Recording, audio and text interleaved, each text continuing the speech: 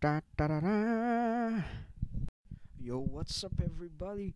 Welcome back to the Pyrrhic Papaya Gaming channel for episode numero dos of uh, our little SimCity 3000 Let's Play. So, uh, since the last time, I've made a few more residential zones. We've really developed down here, and uh, yeah, we got got this whole area down here, nice little cul-de-sac. The industrial zones have really blossomed, and uh, we even got this. Look at this. This is all like middle class. You know, we got. Uh, I'm gonna call this uh, Lakeside Drive. This one right here. Ever been to one of those one of those towns where they have like they have kind of that private drive right by the lake, and you know you're technically not supposed to drive through it. You know, if uh, you don't live on it or whatever, kind of exclusive. Yeah. That's what we got going on over there. I'm going to add some more trees. So, also since last time, uh, if you'll notice, we have a. Uh, I'll zoom in, really get a grandiose picture. We have a garbage epidemic. Uh, yeah, it's everywhere. This is uh, this is not looking good. So we're gonna off on this uh, little side back road by the lake. Course, the most polluted lake on planet Earth. No, I'm just kidding. You should see some of the some of the lakes in the uh, former Soviet Union. Oh boy, really in the U.S. too. Um, we'll build another little. I don't know why I like throwing down trees so much. I find it rather therapeutic. And uh, yeah, ooh, we got it going. That landfill's two percent, and the trash is slowly going. Also, our funds are pretty good. We we aren't we aren't losing too much money. I think we are losing a bit. Yeah, about a. What is that about? Uh, it's like seventy some. A year, seventy some simoleons. Obviously, we spend a lot, so we're losing thousands of them. But uh, you know, once we really get the the population starting to go, uh, that's not going to be really an issue anymore. What is going to be an issue is all these stupid power lines. And uh, let's see here. Now, where do I want this to go? I'm thinking I, I connect it up there, and we'll keep. Ooh, no, no, that's not what I wanted. That's not what I wanted for Christmas, Santa Claus. All right. And uh, yeah, actually, we'll hook that up there. Oh, doesn't that look just absolutely lovely? Right down by the lake. In fact, for the sake of more uh, lakeside uh, real estate, we're gonna kind of level that out and bring that over. And gorgeous, gorgeous. Uh, do I want to build? Huh? I don't know what I want to do in there. I don't know what I want to put there either. I feel like I should put a park or I think I'll put a commercial zone. Yeah, I always find commercial zones a nice buffer between industrial and residential. What's this? You take Harrison's trash. Pay you cold hard cash. Accept deal. Let's do it. Our town's already trashed. Why not trash it a bit more? We'll throw an extra 500 bucks worth of landfill. Now it's kind of not square anymore. That's all right. You gotta live a little. But yeah, we're still gonna work towards our uh, lovely, lovely goal of trying to get um, those uh, research centers going on here. And uh, speaking which, let's take a look at our hospitals. Doing pretty well. I hope these uh, query buttons aren't uh, twerking out too much, tweaking out too much. um, just 'cause I know, like, recording this isn't great on my computer right now. Same with this area down here is probably like really tweaking out a lot. Um, so yeah, I apologize for that. I'm gonna try to get it better set up, but I've been trying for hours and hours, and it's still not, it's not working. Uh, let's see, school. School's doing pretty good. We're getting closer. Hospital and fire and uh, police cover. Ooh, cancel. No, I don't want that. no, thank you, sir. And well, actually most of the city has pretty decent crime coverage, along with fire coverage. Not until we've expanded like substantially more am I going to be that concerned. We're just going to expand that road out that way. We're going to expand this road down that way. And how are we going to set this up? You know what? I might do just like rows of this. It's kind of generic, but in actual city planning, not a bad idea. Why? Have you ever been to Boston? Likewise, have you ever been to Manhattan? uh, and admittedly, Manhattan, it's all squares. It's all just squares and squares of roads above um, really lower Manhattan. But, but it's still absolutely just crap to drive through.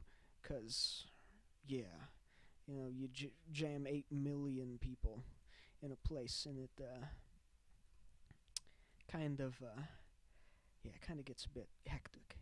All right, so we got ourselves a haunted house and the mayor's house. Like, where are we gonna put these? Oh, yo, I got an idea. Are you thinking what I'm thinking? Yeah, I'm so glad you are too. We're gonna put the mayor's house up here, overlooking all this, the people. Wow, if that isn't a statement, I don't know what is. All right.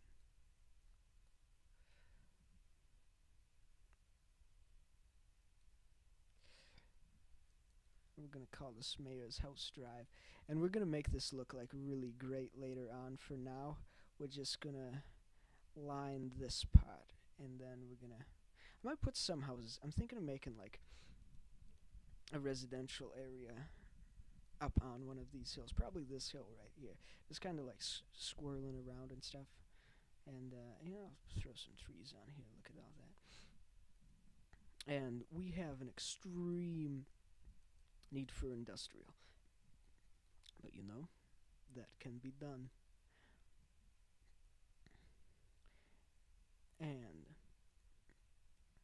we'll throw in our first medium industrial zones right in there. And I shouldn't have put that there. That's kind of my. I, I don't always like those train house looks. Sometimes I do, but sometimes I don't. So I kind of like to just loop them around. Alright. And To build some more medium industrial over here. Booyakasha and got to get this all hooked up with power. Again, regretting a lot of decisions with uh, how I set up those roads. All right. And the power lines, piece of crap. Not a happy man with these. Nah, I'm just kidding. I totally am. All right. Let's see how this looks. And I'm probably going to start, maybe before the next episode, I'm going to start upgrading a lot of this into medium industrial instead.